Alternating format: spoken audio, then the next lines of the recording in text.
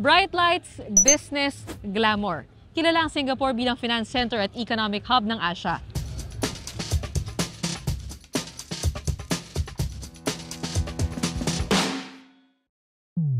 Nitong nagka-pandemya, isa rin sila sa may pinaka-epektibong COVID-19 response. At ngayon, pagkatapos ng mahigit dalawang taon, masisilayan na ulit ang mundo, ang Singapore. At sa pagbabalik ng Formula 1 Grand Prix dito, mahigit 10,000 turista mula sa iba't ibang parte ng mundo ang makikisaya sa kanilang official coming out of COVID-19 party.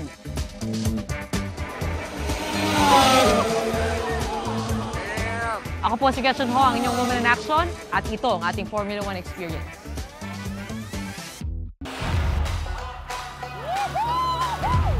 Tinatagong yaman ng La Union. Kable, kable. Black Hawk helicopter. Nais nilang ipakilala ang ibang mukha ng hulo.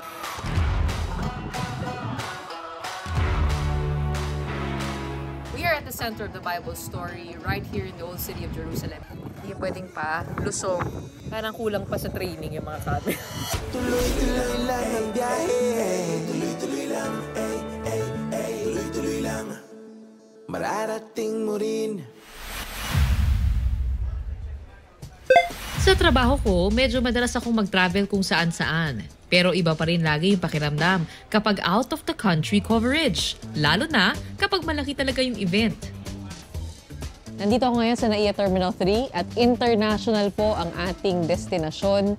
And as a racer, as an athlete, I'm excited because I'm gonna get an opportunity to be on the front lines of the Formula 1 Grand Prix happening in Singapore. Pero hindi lahat ng lakad perfect. Minsan, may aberya talaga.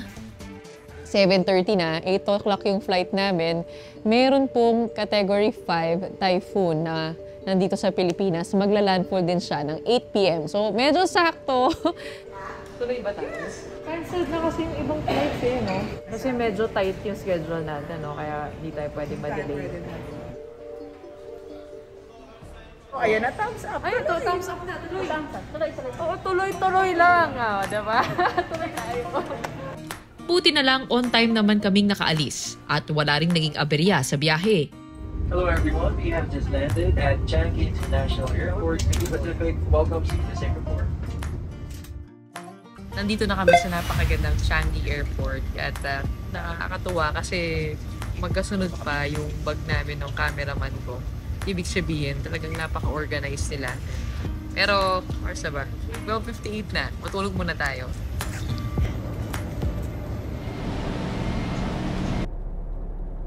Kinabukasan sa pag-iikot namin sa Singapore, limang araw bago ang pinaka-premyadong karera sa buong mundo, ramdam na ramdam na yung F1 fever.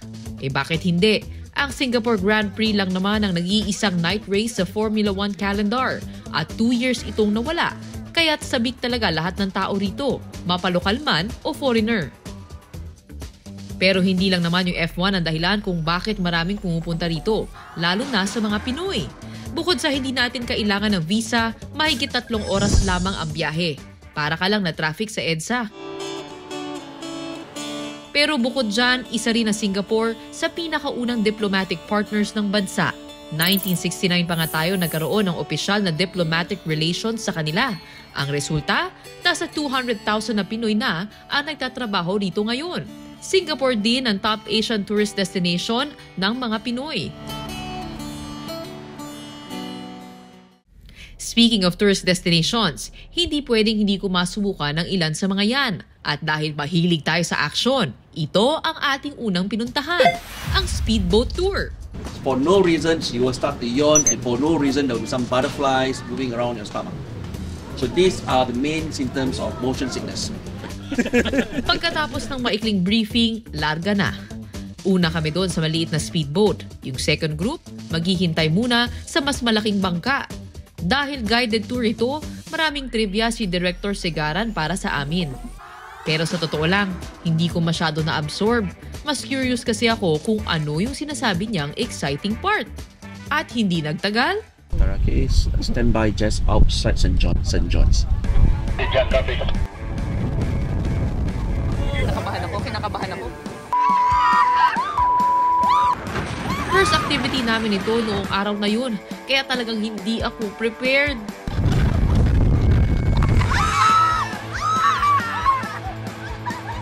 Di pa kami masyadong na-brief. Nobody told us we were going to experience Are you sure? We, we thought the F1 was on Friday. Uh, but this is uh, on the water F1. Sayang yung makeup. on what? Medyo maalat yung tubig. Ano? Nalasahan niyo ba yun? Kahit hindi namin alam kung tatawa kami o iiyak, masayang experience yung guided speedboat tour. Swak na appetizer para sa F1. Pero nakakapagod din, kaya pagkatapos ng ilang minuto, lumipat na kami doon sa mas malaking bangka na nagkataong Pinoy pala yung driver. Napakaraming mga Pilipino dito sa Singapore. Sa boat pa lang. Oo. Si Kuya Fred. Yes, ma'am. O Kuya Fred, uh, gano'ng katagal na pa kayo dito sa, ano, sa Singapore? more or less 15 years, ma'am. Wow! Pero okay naman yung buhay dito. Kamusta naman? Depende kasi sa ano mo, sa posisyon. Oo. Kumbaga kung nandun ka lang sa, kumbaga, dikhan, hanggang dikhan lang yung, yung, yung ano mo, yung, yung pangsahod mo, hindi naman pwedeng Ah, depende. dikhan. Oo. eh, depende. Pagkatapos mag-speedboat, diretso naman kami sa isa sa pinakasikat na pasyalan sa Singapore, ang Sentosa Island. Isa ang Sentosa sa pinakamainit na puntahan ng mga turista dahil kita nyo naman. Sa aking likuran, may cable cars. Dito, may luge na isang ride. At yung sasakyan natin mamaya, yung Sky Helix dun sa taas. Pero konting trivia muna. Alam nyo ba itong Sentosa ay isang fishing village pala na ginawang kampo ng militar noong 1942 to 1945 nung sinakop ng Japan yung Singapore. At noong 1970s, ginawa na nga itong isang tourist destination. Kaya naman puno na ito na resorts, hotels, at mga rides. Chill at relax ng Sky Helix kasi ang ino-offer naman niya, malupit na view.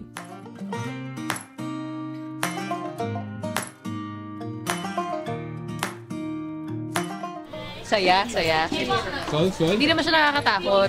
Chill lang siya. Ah, pero kung may takot ka sa heights, ah, medyo alanganin yun, medyo nakakakaba siya. But ah, it, it gives you a good 360 view of Singapore. Pag nasa tourist spots ka nga dito, hindi mo na halos maramdaman ang pandemya. Pero kahit mukhang normal na normal na dito sa Singapore at kahit napakahusay ng kanilang COVID-19 response, malaki pa rin talaga yung naging epekto nito sa mga taga rito. The pandemic, I told nothing, zero, zero tours. So I kind of like very upset, very sad, very down. Till I seek the help of the government. So the government help us in some getting a job, and also uh, help out in getting um, uh, groceries, support by buying things from the shops, and um, a certain kind of like um, uh, financial support.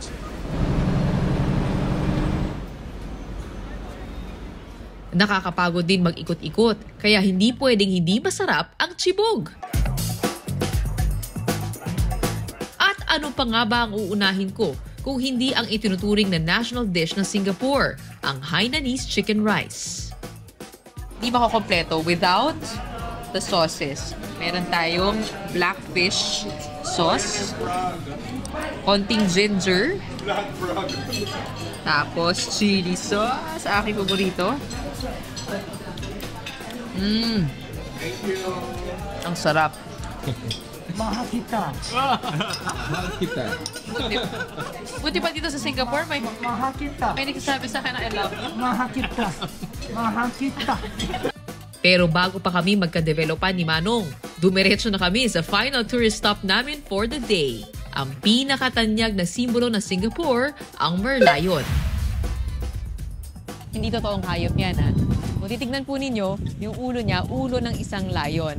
Yan ay reference dun sa origin ng salitang Singapura, which means Lion City in Sanskrit. At yung katawan naman niya, katawan ng isang isda o mermaid. Yan ay dahil nagsimula bilang isang fishing village ang Singapore. Siyempre, hindi ko pa nalagpasin na ma-practice yung medyo nangangalawang ko ng international selfie skills.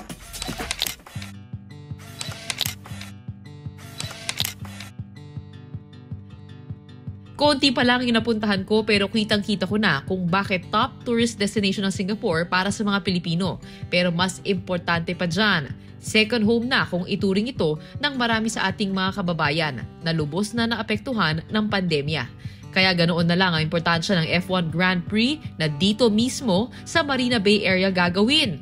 Ito na kasi ang hudyat na nakabangon na at muling nagbabalik ang sigla ng Lion City ng Asia.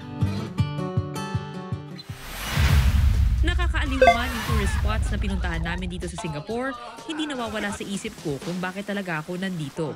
Hindi mo rin kasi talaga makakalimutang may F1 Grand Prix dahil kahit saan ka tumingin, lahat ng tao parang doon papunta. First day pa lang ng 3-day F1 weekend, kaya medyo maluwag pa ang pila. High-tech talaga dito sa Singapore. Bilang nasa Singapore tayo, lahat electronic na. Hindi na uso yung mga ticket dito na mano-mano. Kailangan may QR code ka. Also, uh, with the QR code, the certification that you are already fully vaccinated. No camera lens is longer than 30 centimeters. Higpitin sila dito. Madami na akong napuntahang malalaking sporting events, pero first time ko sa Formula 1.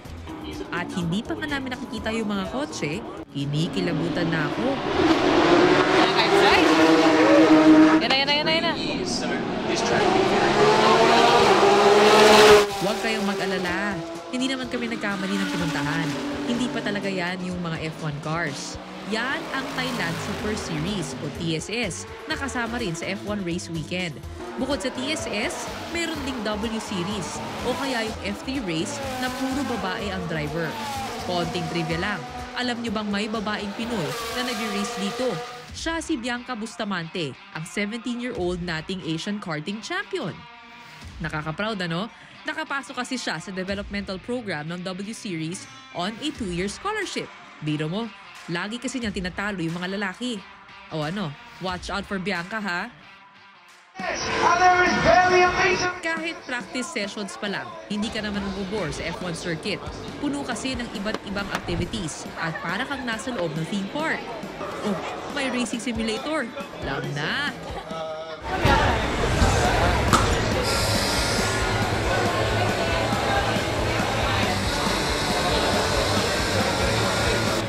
Para i-reverse to.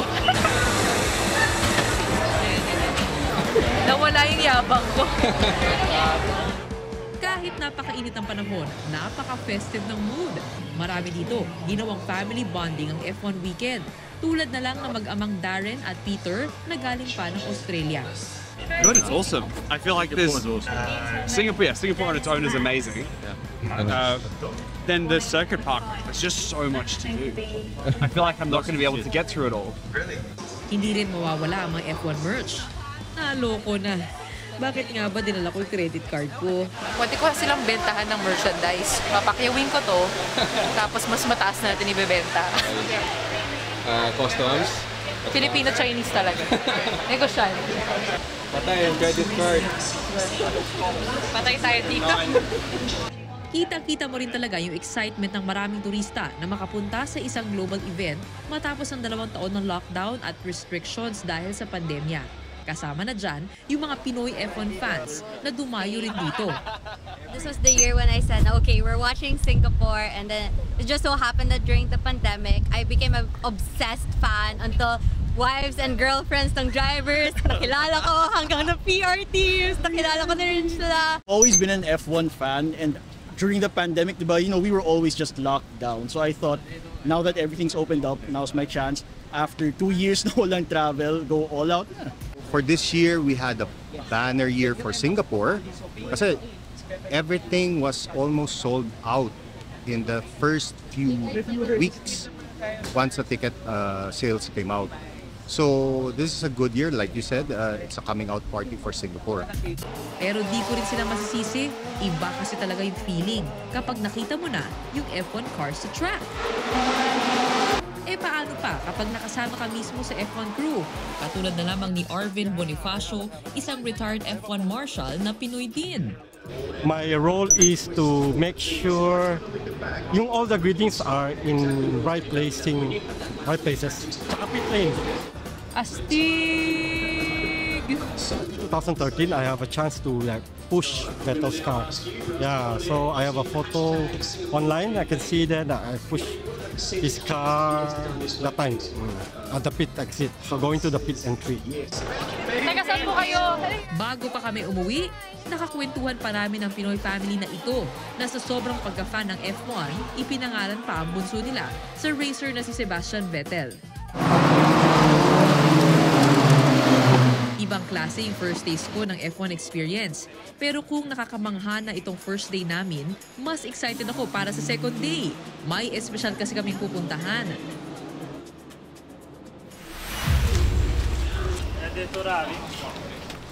Kinabukasan sa ibang entrance kami dumaan. Iba rin yung pila namin. Pang VIP pala ito. Kaya natsyempohan pa namin ang isa sa mga F1 racers, si Daniel Ricardo ng Team McLaren. Thank you. We're from the Philippines.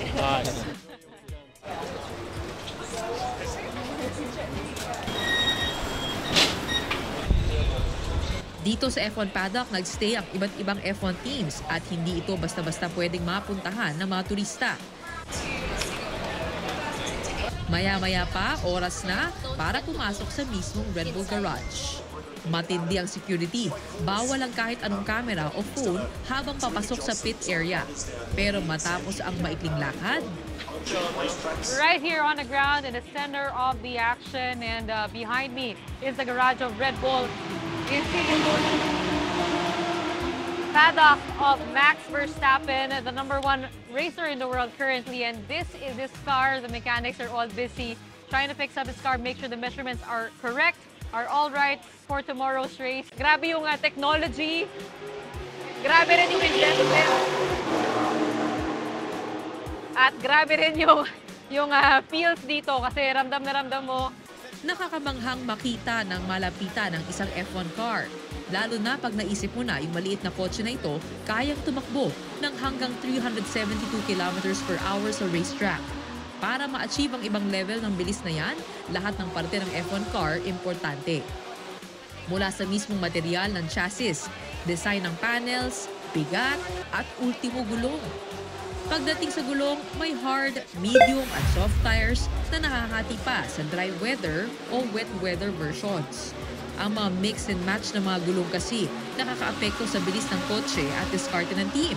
Kaya naman mahalaga ang strategiya na mapag-uusapan ng technical director, race strategist at mga mekaniko. Nakita natin yung mga mekaniko, uh, mga 11 mechanics daw who are working on the cars of Red Bull, 80 personnel they bring in uh, to every single race and they have five of these garages that uh, they rotate and send to different parts of the world. Ganyan karaming tao para magpatakbo ng isang competitive F1 team. At sa front end pa lang yan ha, umaabot mula 300 hanggang 1,200 ang personnel kapag kasama na rin ang back end. At kasama dyan ang design, development, and manufacturing teams. This is the laser that uh, measures all, everything about the car, sends it to FIA for all the requirements needed for tomorrow's race. Kaya naman hindi nakapagtataka na umaabot ng daan-daang milyon dolyar para magpatakbo ng isang F1 team.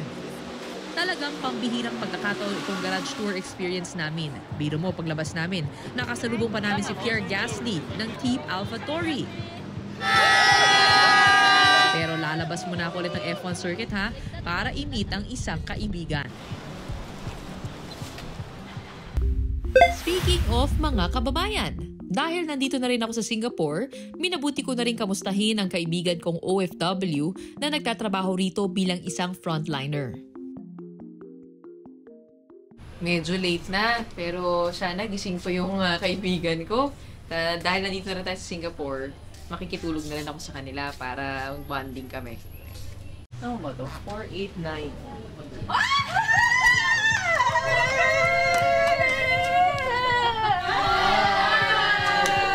Hiya naman ako, meron pa party dito. Sino may birthday?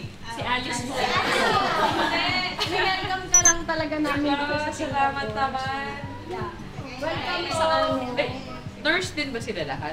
Opo, lahat sila nurse almost, pero yung isa doon is engineer. Then, uh, Ayon sa Singapore Ministry of Health, noong 2019, humigit kumulang 7,600 o 18% sa nurses na nagtatrabaho sa Singapore ay Pinoy at bago pa ito ng pandemya. Dahil sila ang naging sandigan ng COVID-19 response ng bansa, marami sa kanila ang hindi makauwi dahil na rin sa mahigpit na travel restrictions. Ano to? Singaporean ano ba to? Singaporean Specialty? Yes. Opo. Salted egg. Buhay dito noong pandemic? Malungkot. Oh, sino na nakauwi sa inyo sa Pilipinas? Lahat na. Except her. Hindi ko nakakauwi. I showed her it financially. So, Ah. if I I was spending. Wait lang, pag umigay, walang pay yun? Meron. Nagagastos ka kasi. Kung hindi nagastos mo, yung plane ticket and everything, then just... Bigay ba Diba isa sa requirements pag uwi naman marami kang bao? Pera! Si Alice kasi lagi ko nakakausap. Tapos parang minsan, naiiyak siya. Kasi mm. miss niya yung family niya. Masakit sa kanya na nakikita niya nagla-lockdown kami sa Pilipinas. Nagkakasakit, nagkaka-surge. Pati family niya nagkakasakit. Pero iba yung inaalagaan niya. Tatakot kami for our family. And knowing na meron kaming alam sa COVID and wala kami doon, hindi namin sila maalagaan. How do you protect your families from here? Education. Education, then what to do, Ano yung mga frustrations sa mga pamilya niyo? Pasaway! Pero dito sa Singapore, ano yung normal reaction ng mga tao pag kumari naman nagkaka-symptom sila? Fear. Parang Parang nagre-report ba sila agad-agad? konting sipon, ano, AME agad. I mean, emergency agad. And it's provided by the government kasi like each household, namibigay sila ng test kit na yung antigen test. Libre. Libre? Yes. Libre antigen. PCR libre. Ah, no, subsidized. Sa mga Pinoy naman, hindi kasi libre yung ano eh. Parang mayroon yung allocation sa LGUs, may libreng testing, but not all LGUs nakapagbigay ng libre. So kung wala kang pera, imbis na magpa-test ka, kakain mo na lang. Araw-araw man challenging ang kanilang buhay dahil kinakain na ng trabaho ang kanilang oras, mas gusto raw nilang makipagsapalaran sa bansang mas may kasiguruhan ang kanilang kinabukasan. Alam mo din kasi sa sarili mo na ano, kailangan mong mag-grow professionally and personally and ma-achieve mo lang yun, especially sa professional, ma-achieve mo yun kapag lumabas ka ng bansa mo or you go out of your comfort zone. Pero para maging good enough yung ipon ninyo, usually, how long does it take? More than 10. More than More 10 than years. 10. And pag uwi nila, meron na silang investment like may lupa na sila, may bahay na, Business. may business. So para So kayo din din na ginagawa ninyo? Hindi.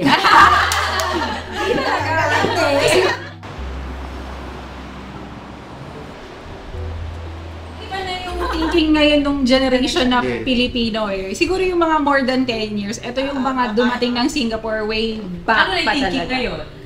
Gusto na talaga namin mag-settle sa other country.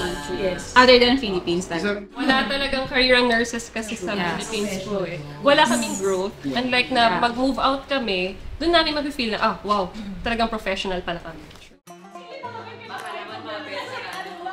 Kitulog ako dito sa kanila kasi gusto ko nga makatipid at alam ko ito yung isa sa mga gawain ng mga Pinoy. Imbis na gumastos sa hotel kasi mahal F1 yun, di ba? Hanggang Monday na.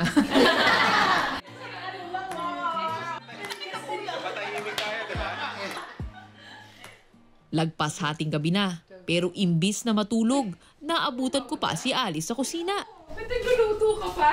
Late na. Alam niyo yun, after work, kailangan mag-prepare ka ng food mo for your next, I mean, sa next day para sa work mo. Kasi maaga yung work din namin, so wala na rin kaming time. So, instead na gising pa ulit kami ng mas earlier, edi mas magandang magluto na lang kami ng food. Isama mo na yung pagkain namin bukas. Sige, Actually. para sa atin pa lahat. Ano ba naman yan? Hindi mo kaya yung corned beef? Ako nga, kayang-kaya ko eh. Wow! Inaaral ko yung grade school. Beef na medyo tutong ah. Ay, hindi ito tinututo kasi hindi naman to prito. Tinututong? Ah, hindi ka nagpiprito? Hindi, kisa kasi to. Hindi siya prito. Halatang hindi yung alam. Sa magluluto. So yung corned beef kasi namin sa bahay, tutong. Ma- Maniwala ka ate Beth, di ba? Tutong yung ilalim, masarap. Ikaw naman ang pinagluto ko ngayon. Oh! Bang papalinis dyan? Sunog na po yung kawali sa that? Tapos na. Yeah. It's been a long day. Ako. Matutulog na kami ah. Yeah. Good night, Pwede guys. rin naman magpahinga from time to time. Pwede rin.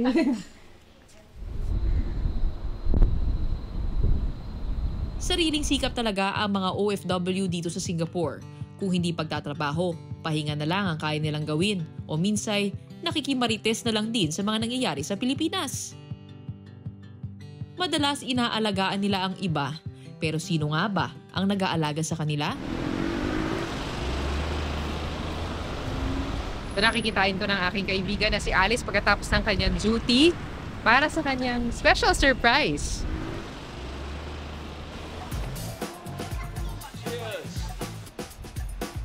Ano kaya yun? Uy!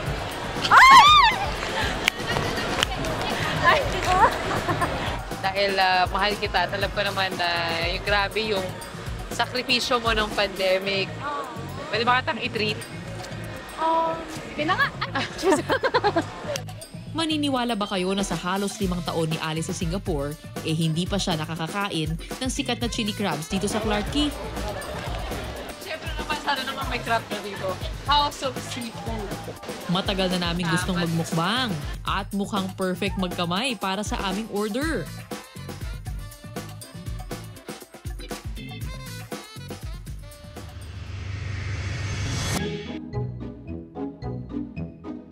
Alam mo, wish niya kasi gusto niya magkamukbang ako sa channel ko pero hindi ko siya pinagbibigyan.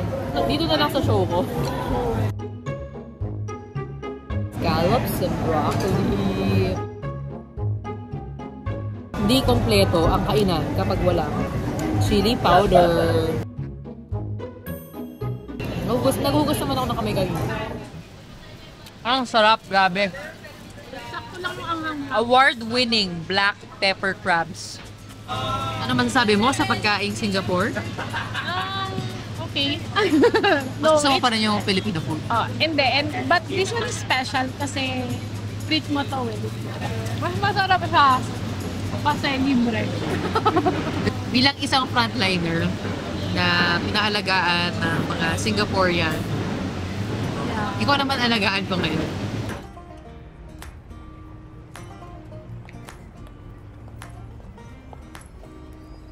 Grabe, no, lapit na ng Pasko. Ilang buwan na lang. October, end of October na. Ano bang Christmas wish mo? Christmas wish ko, syempre makasama ko yung family ko. Sana ngayong Pasko. Pero hindi ka makakauwi. Hindi ako makakauwi. Sana Sige na, matuloy ano, na lang ano? yung kasal ko. Ay, yun, yun. Oo. Shocks na miss ko bigla yung family ko kasi sanay ako kumakain ng crab with my mom, with my brother. Sanay ako na pag nakakita sila ng alimango, ay, ang sarap! Tapos, weird na ako lang. Medyo, alam ko yung moment na yun, kakapari, kakapiranggot lang ng nararanasan mo sa araw-araw dito sa Singapore. Pero sana kahit pa paano sa bisita namin sa'yo, eh, naparamdam namin yung pagmamahal this Christmas. Yeah, sobrang ano to, ah, advance Christmas gift. Thank you so much. Advance Merry Christmas, Alice. And uh, yung puno sa likod, inailawan ko yan para sa'yo. Thank you. Tuwang-tuwa ako na natuwa si Alice sa aking surprise. Pero ang hindi ko alam, masusurpresa rin pala ako rito. Sa pambihirang pagkakataon, nasa Singapore din pala ang singer ng theme song ng Woman in Action at ang kaibigan ko na si Quest. Quest! Dito pa tayo nakita. Good to see you. I can't Good believe it. good to Alam see mo, you. ilang buwan na kaming sumusubok magkita. Pero sa sobrang busy namin dalawa, eh, hindi magtagpo yung schedule namin. At ang galing talaga ni Lauren kasi dito sa Singapore, Singapore pa talaga. kung saan may trabaho ako at may trabaho siya, oh, dito kami talagang pinagtagpo. Pinagtagpo ni Lord. Daw international daw dapat eh. Ayan, yun. Si Quest, Jose Villanueva III, na kumanta ng ating theme song ng Woman in Action na Tuloy-tuloy. Ah, diba? Pandemic, pandemic, siya nag, nag-start. Binuo ko siya throughout the year. And then I realized around three years ago, I made a demo ng title Tuloy Lang. And it's unfinished. It's supposed to be a collaboration with a friend of mine na hindi nag-materialize. I went back to the studio, inaayos ko siya. generic yung kanta eh. And then I needed I needed some I needed a hook. So I started playing, I started humming. That's when it came. Hey, hey, hey, tuloy-tuloy lang. Kaya ba saktong-sakto yung timing mo noon na parang sobrang down lahat ng tao. You suddenly you hear that song na sobrang positive and upbeat. Siyempre, kakasimula pa lang ng pandemic noon, medyo chaotic, ang daming gigs na nawala, ang daming shows na nawala. So I did tuloy-tuloy lang also to, you know, remind me na I need to move forward. I need to find a way. Itong Woman in Action was a concept that we were talking about. Siya yung nagsabi sa akin, alam mo, dapat may travel show ka. Siya talaga ang nag-implant sa Yep. aking brain and heart. I can't believe it's happening, man. And I'm using your music. Ang galing-galing talaga ni Lord. How it all worked out. Umulan man o umaraw, mabagal man ang daloy o humahataw, tuloy-tuloy lang ang biyahe. Basta umaabante, ano man ang pasikot-sikot, minsan titigil, minsan ikot ang ikot, basta tuloy lang ang biyahe. Hanggat ikay umaabante, mararating mo rin. Kahit saan mo talaga ilagay mga Pinoy, magsasakside, no? At kapag para sa pamilya, kahit mahirap at malayo, titiisin natin. Talagang nakakahanga yung mga OFW natin dito sa Singapore. Pero baka isipin nyo, puro pagtatrabaho lang ang ginagawa ng mga kababayan natin dito ah. Marami rin silang ibang hobbies dito. May mga athletes pa nga, tulad na lamang ng Filipino Dragon Singapore. At ang kanilang sport of choice, Dragon Boat.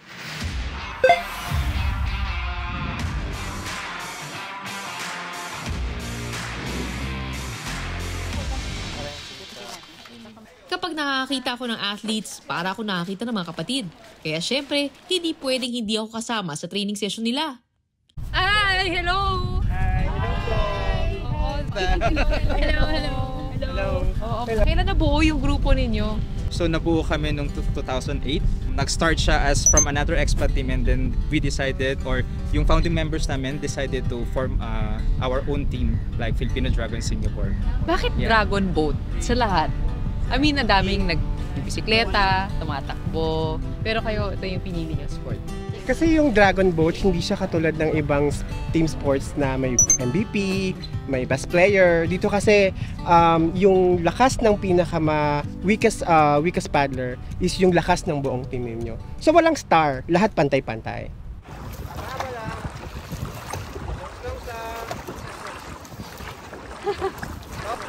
Nakasubok na akong mag-dragon boat dati. Kaya lang, medyo matagal na yon. Tsaka ngayong araw, parang hindi swak yung getup ko pang exercise. Naka-leather pants yata ako. Hindi ako nasabihan. Ay, hindi, nasabihan pala ako kasi ano, waterproof to. Lulutang pagka nahulog tayo.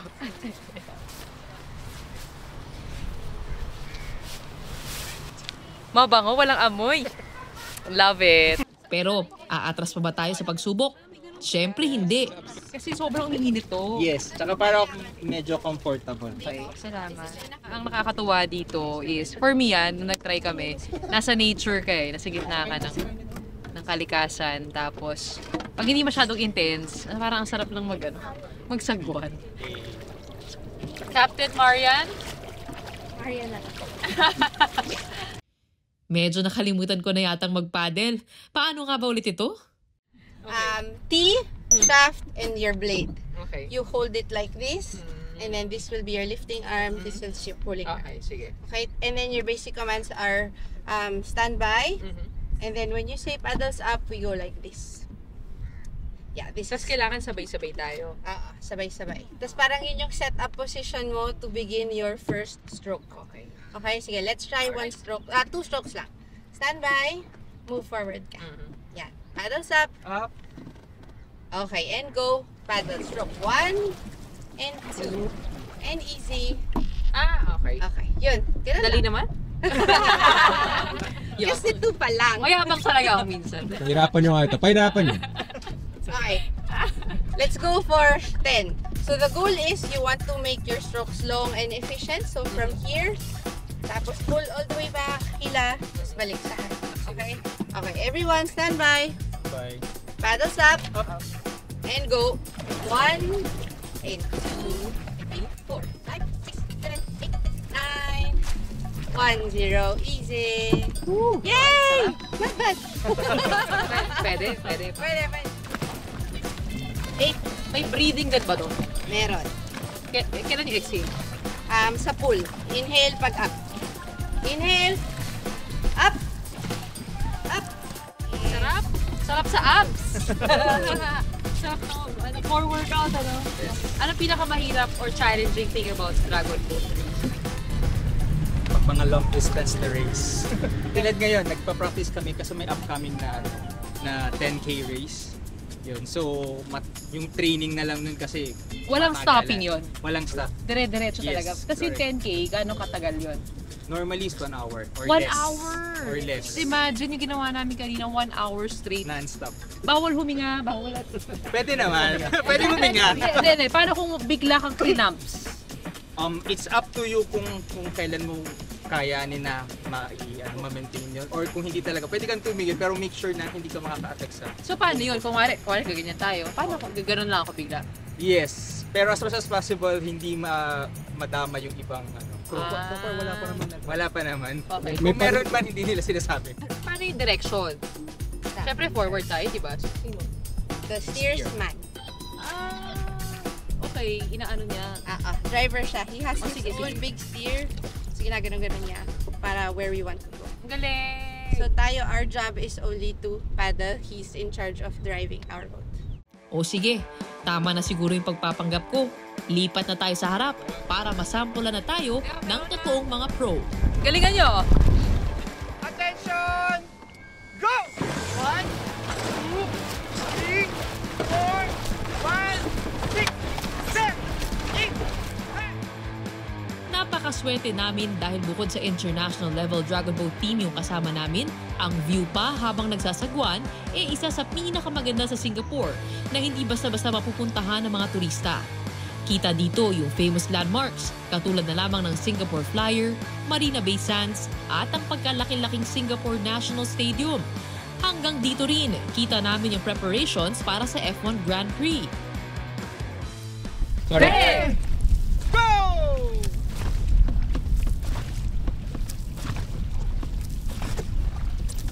inspire sila. Um, ako, ano, kahit may trabaho sila, may day job sila, they're able to commit to this four times a week. Land training, water training, pool training. And yung harmony nila together, super ganda nila tignan, ang graceful. Iba, iba, iba, kasi iba yung individual sport, iba yung team sport.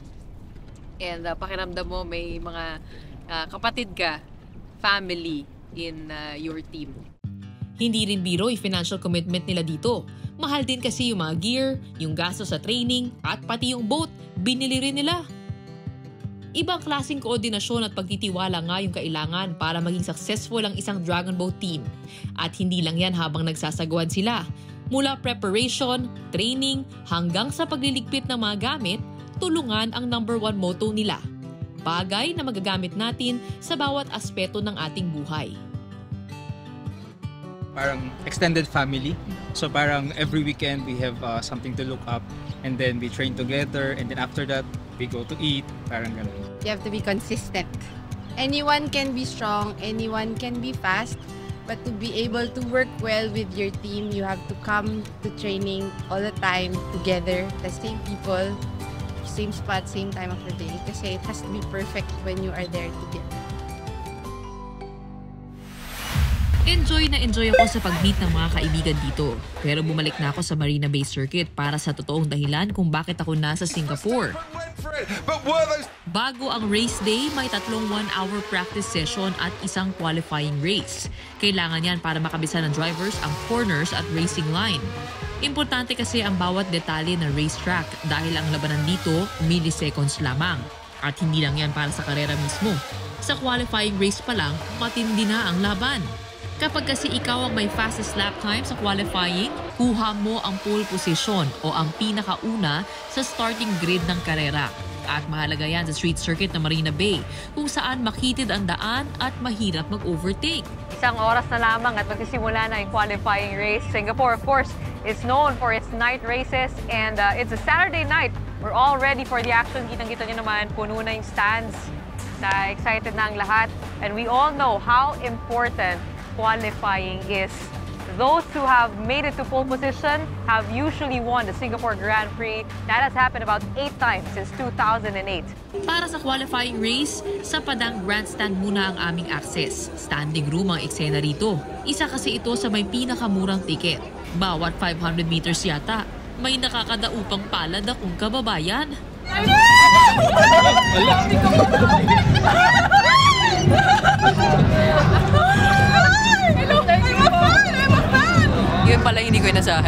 Inasahan. Take picture of me! Great job! So sorry. Oo. Taga dito kayo? Oo. Ah, Mercedes kayo ah? Yes. Kanya-kanyang diskarte sa panonood.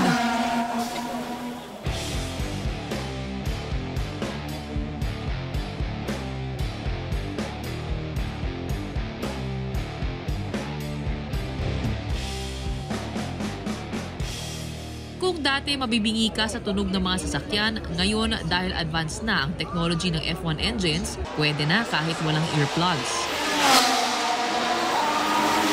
At kahit iisang stretch lang ang makikita mo mula sa stands, iba ang adrenaline rush kapag live.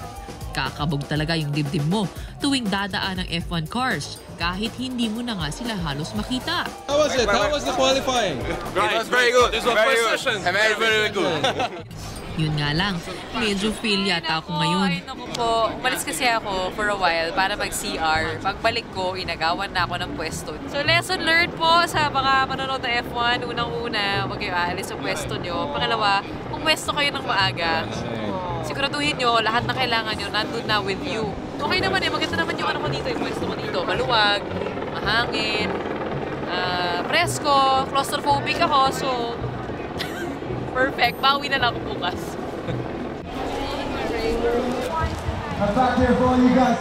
Hindi ko na pala kailangan maghintay para sa bukas dahil ngayon pa lang nakabawi na ako.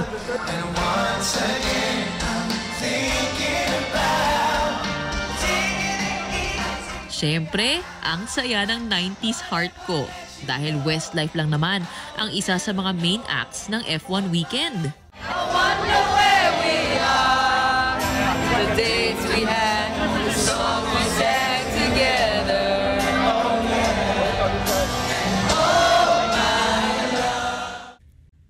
Napakarami ng tao nung qualifying,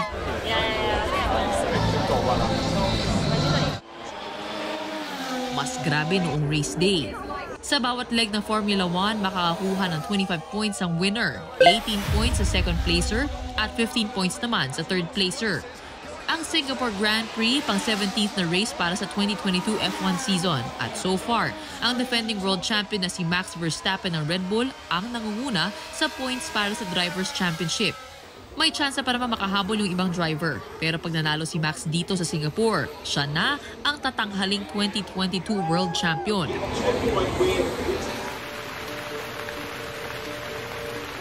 Pero hindi pa man nagsisimula ang karera, may aberya na.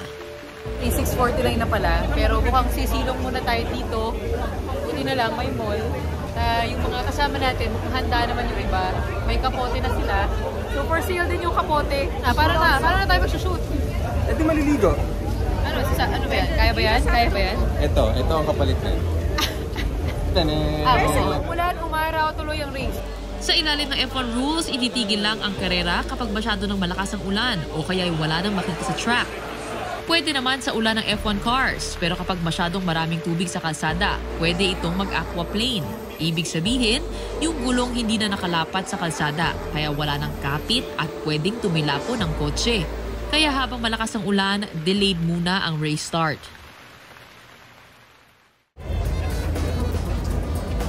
Wala tayong magagawa kapag nagpunta ka sa F1. Kailangan handa ka para sa lahat. Ah, ito lang, ang challenge. Dito, mula sa Bay Grandstand, dito tayo manonood ng Formula 1 Singapore Grand Prix. Mas maganda ang view at reserved seating na rin. Nanap ko na ng upuan ko. Siyempre, Kaya tayo mga Pinoy kasi kasama-kasama natin dito sa F1. Mga bisikit ng Pinoy, malamang meron din Pinoy sa mala- na malapit. O, taga saan po kayo? Taga Quezon City po, Fairview. Kayong dalawa yung handa. Buti na lang ako din, waterproof yung pants ko. Basa na yung mga upuan. Our absolute pleasure to bring you the Formula One Singapore Airlines Singapore Grand Prix 2022.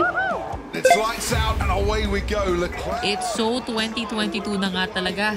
Paglabas ng mga sasakyan mula sa pit, naglabas na rin ng mga cellphone. Kapag nanonood ka ng F1 Live, dapat nakatutok ka rin sa screen para maintindihan mo yung nangyayari sa karera. Dapat hawak mo rin ang phone mo para sa real-time results at standings. At pagkatapos ng dalawang oras at 61 laps, Well done, guys. His teammate who decided to go and grab the headlines. He led. Hindi man pinalad si Max Verstappen makuha ang 2022 Drivers' Championship, panalo naman ang teammate niyang si Sergio Perez. Napanindigan niya ang magandang race start para makuha ang top podium finish sa Singapore Grand Prix. Pero hindi pa nagtatapos ang excitement dyan dahil pagkatapos ng bawat race, Party time.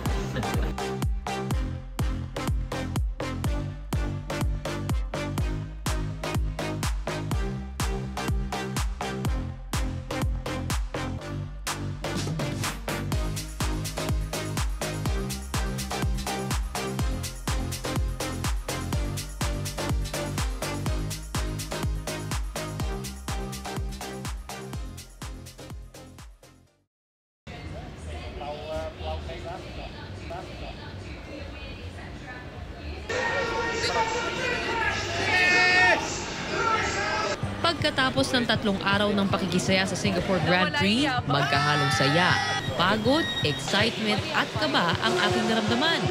Mula sa high-octane action ng Formula 1 cars, mala Hollywood celebrities na F1 drivers, at mga naglalakihang selebrasyon. Hindi nakapagtataka kung bakit Formula 1 ang itinuturing na pinaka-prestigyosong racing event sa buong mundo. Ang ilaw ng racetrack at pati na rin ang Singapore City skyline hindi lang nagsilbing gabay sa mga naglakbay para sa F1 weekend. Ito na rin ang naging liwanag sa dilim na idinulot ng mahigit dalawang taon sa pandemya. Whew! Grabe! Napakalamig na po. Fresh na fresh from Benguet. Woo! Lamig. Ito lang ba? Ano ba yan? Saka ganito lang yan. Tayo naman, oh. Sabi mo kanina, ganda ko, di ba? Parang... Ayan oh, panalo si Mamo. Ah, ah. Sa araw, tayo dyan. Oh, yun pala to, oh. Parang sa gym lang, oh. Two, three. Kaya sabi ko, si Heidelin Diaz talagang nakaka-inspire yun, eh.